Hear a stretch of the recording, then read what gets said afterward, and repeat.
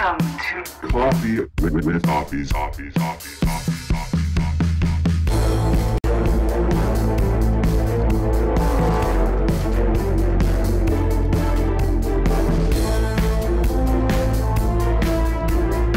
five, five, five, four, three, two, one. Let's do this!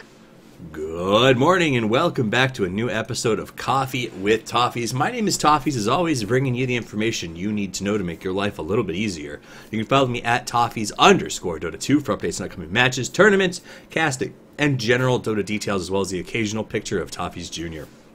Now, quick shout out to our sponsors. Today's show is brought to you by the folks over at Razer, the makers of the finest gaming equipment on the planet, and Betway.com, where you can go and place bets for real money on Dota and other esports. So check them out, especially if you are uh, in the Eurozone. This is a place for you to go. So uh, if you see the link, if you go to my Twitch page, twitch.tv slash toffees underscore Dota 2, there's a link there where you can actually get some uh, free cash to try it out and see how you feel about it. Uh, so it's a no risk, high reward sort of scenario. So definitely worth checking out. Now, that said, you want to support the show the old-fashioned way, you go to patreon.com slash toffees. And uh, don't forget, if you're listening on the podcast, iTunes reviews, we need them. Give me, give me reviews, please. Uh, that way we can get featured for the week and keep growing and getting bigger.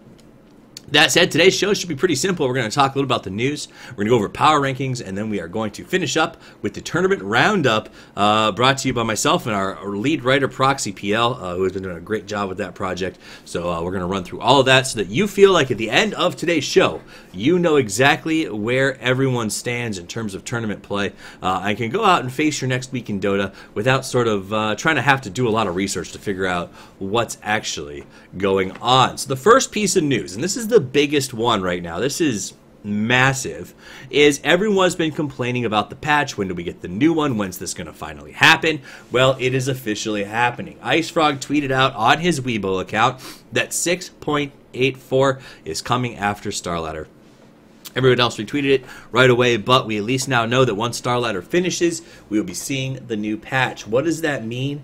Uh, the interesting thing I think comes to this there's a lot of tournaments one after another right now uh, in the scene, and one of the things is there's not a lot of breaks between LANs. So what I think the first thing to talk about is that once this patch drops after Starladder, assuming it's immediate, teams who are going to the summit LAN will only have two weeks, I think, two or three weeks to prepare for that tournament. If the drop is not immediate, that could be even less. So there's a very real possibility that the teams who have qualified for the summit and are going, which we'll talk about a little bit later, may only have a week or two tops to prepare their strategies based on the new patch. And the new patch, I would go out on a limb and say they're going to make some big changes to a lot of the heroes that are popular. This isn't like past patches where we nerf supports and stuff. There's going to be a lot of hard carries.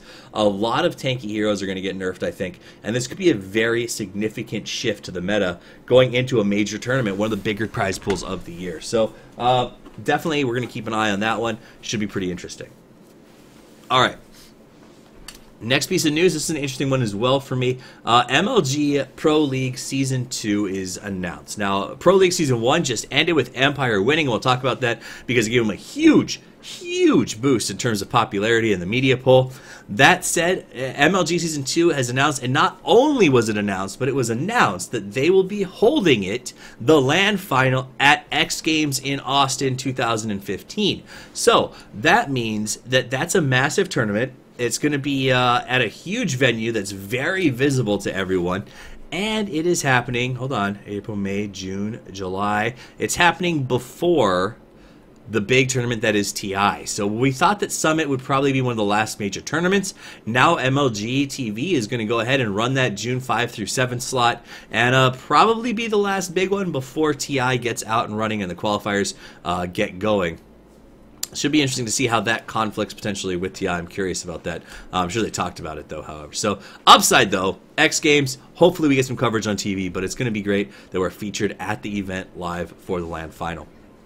So that's the big news that came out. Uh, let's talk about power rankings that just dropped. This is the media power rankings uh, collected by Five Midas Gaming. Basically, we pull the best casters, analysts, statisticians, content creators, writers, uh, people from all over the place, and ask them their opinions on the top 20 teams in the world. The problem is we can't we can't really compare uh, apples to apples in the sense of the CIS region rarely plays China, China rarely plays America, so on and so forth. So this is the opinion of those who watch the games. Uh, I'll read the rankings off for you guys real quick. On the top is Vici Gaming. They unseated Evil Geniuses to take over the first spot. Number two, EG. Number three, Team Secret. Number four, Invictus Gaming. Number five, Team Empire with a massive jump. Uh, they are five. They were nine last week, so that's a four-point jump based off of MLG Columbus. Number six is Cloud Nine. Number seven is LGD. Eight is Alliance. Nine is Aces Polar. Ten is Ninjas in Pajamas. 11 is eHome, 12 is MY or Team Malaysia, 13 is Hellraisers, 14 is Hyper Glory Team, 15 is Navi, 16 is Rave, 17 is Team Tinker, 18 Burden United, 19 MVP Phoenix, and 20 CDEC. So MVP Phoenix making it onto the roster at 19 when they weren't even featured last week. Team Tinker dropping all the way to 17 from 13th position. So a huge loss on their part. The one that I'm curious about is Navi has gained three points. They were 18 last week, they're 15 this week, and I'm not sure what that's on the back of, other than they are just a popular team. MY, Team Malaysia, also with a big three point gain. Uh, they're a very deserving team that I think has moved up aggressively. So Empire and MY, both with big games this week. Uh, a lot. Uh, Empire with the biggest though four spot movement is is a pretty dramatic shift for one week of assessment in terms of how the media sees your play. So uh, kudos to them. That's a huge move. That's gonna be very very good for them. Next thing up, we're gonna do the tournament roundup, guys. We're gonna start with ESL one and or, I'm sorry, join Dota MLG Pro League, and then just roll from there as we go. Before that, we do that, we do have to bring you a word from our sponsors, and then we'll go into the tournament roundup and everything you need to know going into your next week of competitive Dota. But here, right now, is. Razer Comms is a free all-in-one communication tool that allows you to stay in touch with friends both in and out of the game. With features such as friendless, groups, mobile SMS forwarding, and call notifications, Razer Comms is a communication solution for the dedicated gamer. Razer Comm's minimal in-game overlay has a panel that grabs all your messages and lets you see who is speaking in a voice call without interrupting your game. Now I'll always know who's breathing into the mic. It's always me. By pairing Razer Comm's mobile with your PC, your friends can call you, no matter where you are. And welcome back. Thank you to our sponsors. And now we'll jump into the tournament roundup. The reason that I know that you're here to learn everything you need to know about Dota in general and where the where the leagues stand at this particular moment in time. So, as you know, Join Dota MLG Pro League Season 1 has finished. Um, and I will say that we've talked about it. It's been a great, awesome. Uh, PPD actually did a really good video. You can go check it out on his YouTube channel about reflecting on the tournament. Um, it's been fun. I think it was a good LAN, and the fact that it was good enough that we'll be at X Games next time around uh, has been encouraging. The results were a little bit. Uh, caught some of us off guard. I thought a lot of people thought Evil Geniuses was going to be a shoe in to take this one home. Um, at the end of the day, they got second place. They were upset by Team Empire. Team Empire took home $34,758. Evil Geniuses 21,000. Ninjas in Pajamas who got third, 13. MVP Phoenix at fourth, got 8,000.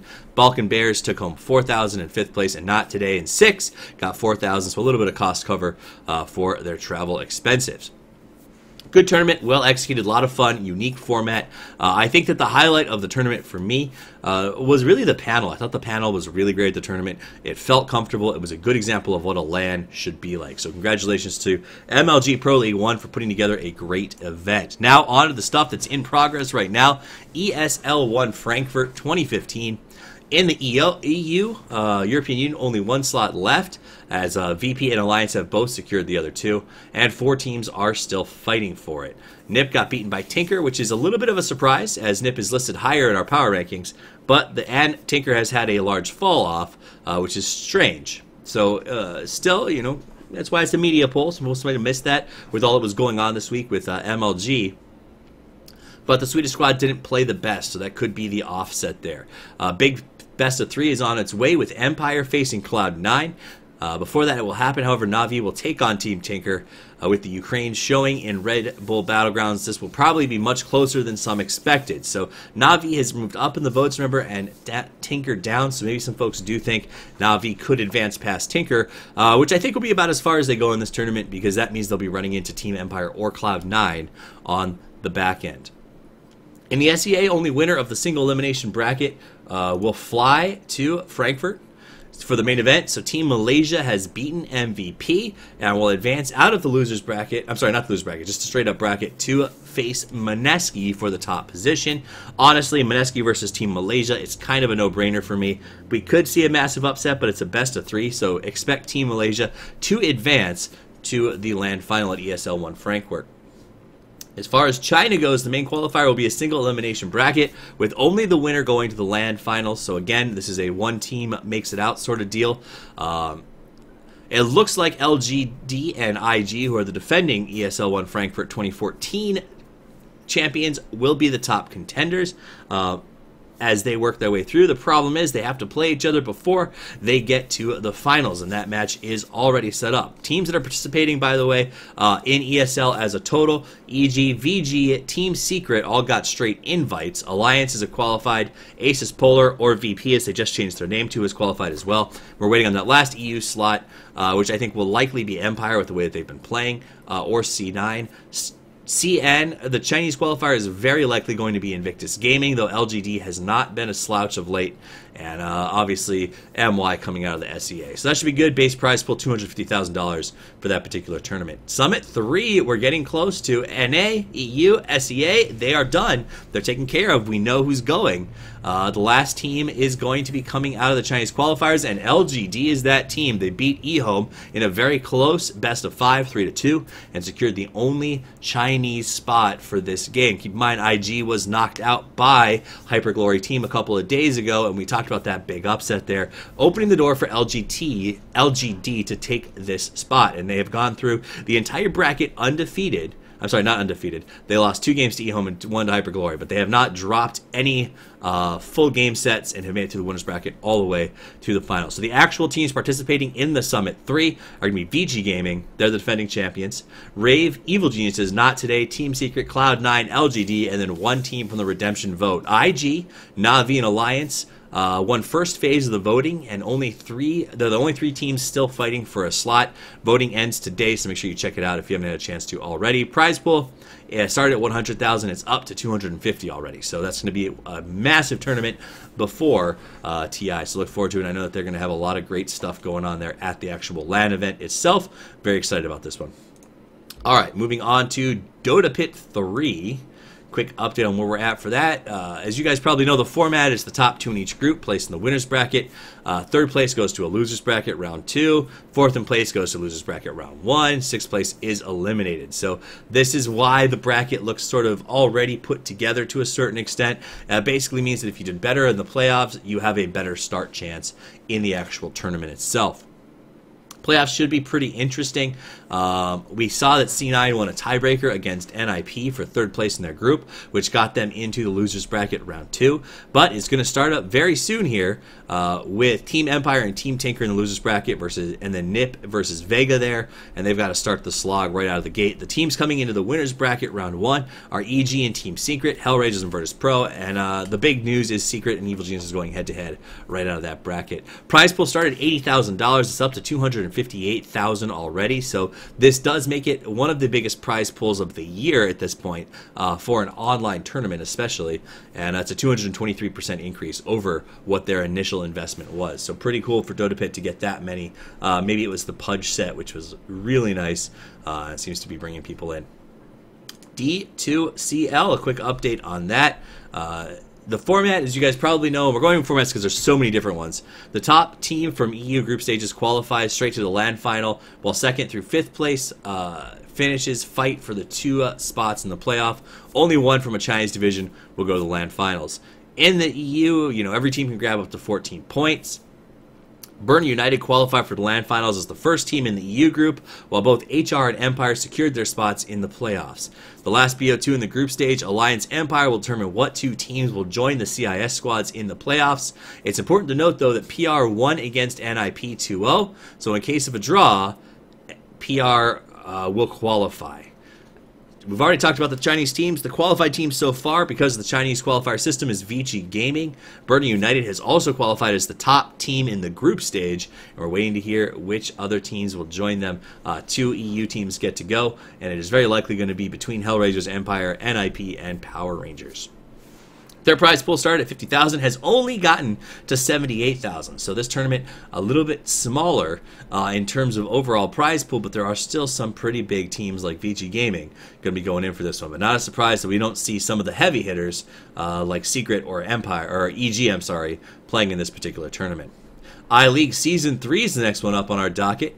Uh, Keep in mind that a lot of big teams have not joined this one either due to problems in the past, but it seems like they're running a pretty clean ship right now. As uh, let's see, we talk about the SEA for I League is I think where we're at right now. Um, with MVP losing in the first round, Team Malaysia is really the clear favorite uh, to pass through. They've got to beat Can't Say Whips. Team Tinker won their qualifier for America and has advanced to the LAN finals. And VP lost to M5 in the semifinal, which was a big upset, but Alliance have beaten them in the finals and secured the only European spot. So, participating teams at this point, uh, and the prize pool is supposed to be $300,000 from what I understand. LGD is getting an invite. Alliance will be going to the EU qualifiers. Team Taker from America.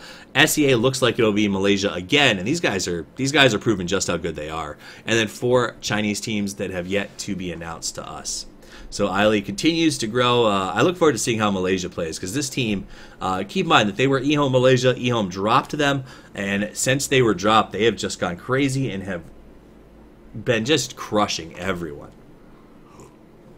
Shout out to Mark Who 13 hanging out in Twitch chat. Thanks for being here live.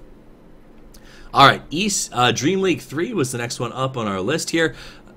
Bird United won the second open qualifier and will play in the league phase. So far, we've got Alliance for Dream League 3. This is who's going. Alliance is an invite. Ninjas in Pajamas was invited.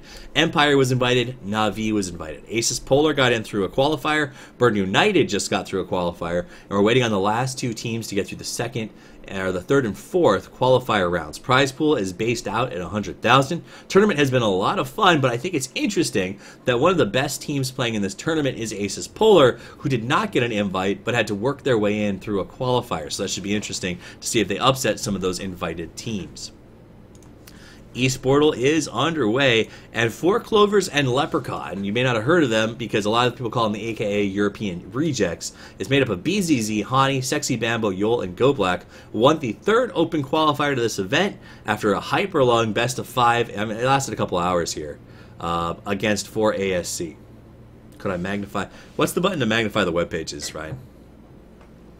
Uh, they lasted for a couple of hours against 4ASC, but ultimately they did take the win. So the qualified teams will be Team Empire, Virtus Pro, Ninjas in Pajamas, Hellraisers, uh, mYinsanity, and then the Four Clover Plus and Leprechaun or European Rejects, as a lot of folks have come to sort of call them here.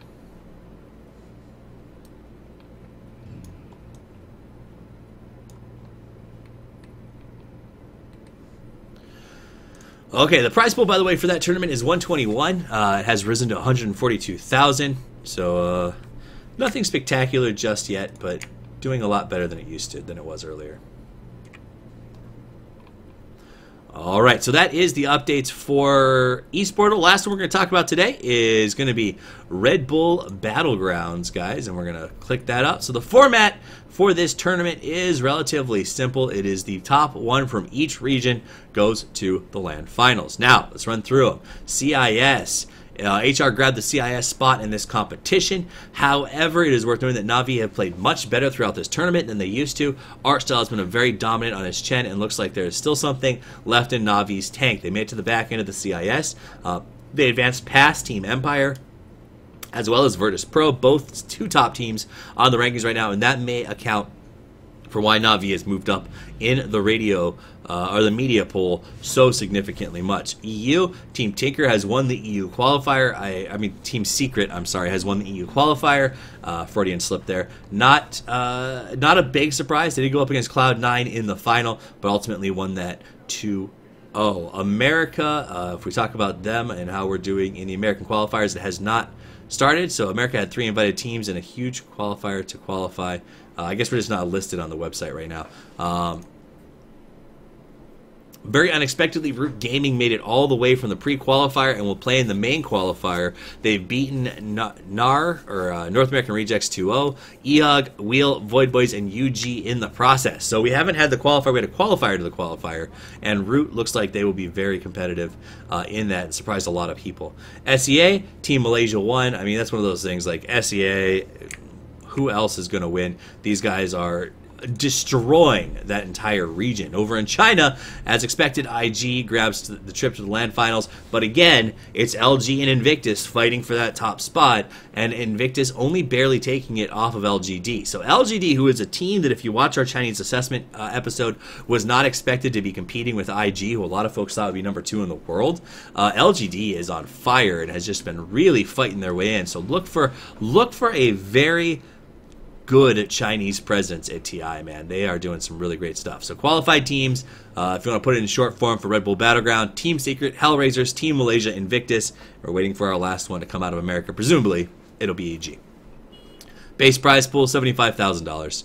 Um, and that's it for major tournaments that are going on right now. I do want to take a step back, though, and say, guys, uh, we are getting close to the TI invites and the qualifiers.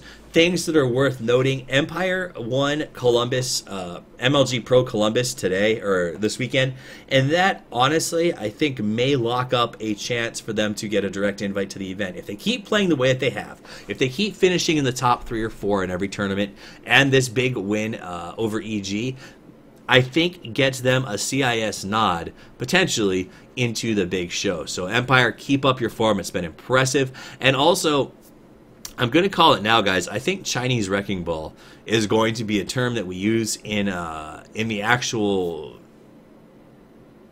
TI. I think these guys are going to be phenomenal. Invictus, VG, and LGD are all forces to be reckoned with, and HGT is no slouch either right now. Uh, eHome also being really competitive. So I think that we're going to see a huge Chinese presence. I think that Team Malaysia is going to, for the first time ever, mean that an SEA team is going to worry people. A lot of times SEA shows up at these big events and no one even prepares for them because they're sort of a, a, small scene compared to everyone else. Malaysia could very well change all of that, so we'll continue to follow their progress. Uh, though it is worth noting, Rave, another team that's been coming out very strong in the in the SEA market. So look for SEA to have a much bigger impact this year in TI, and I'm excited about uh, post summit. When we start seeing those invites come out, it's a, a, wonderful time, and I think everyone's really, really going to enjoy it. So a big shout out to our writer for the show, PL Proxy, for helping me out. If anybody else is interested in writing for the show or getting involved with helping to make clips um, or storylines or things like that, we'd love to add new content, new media.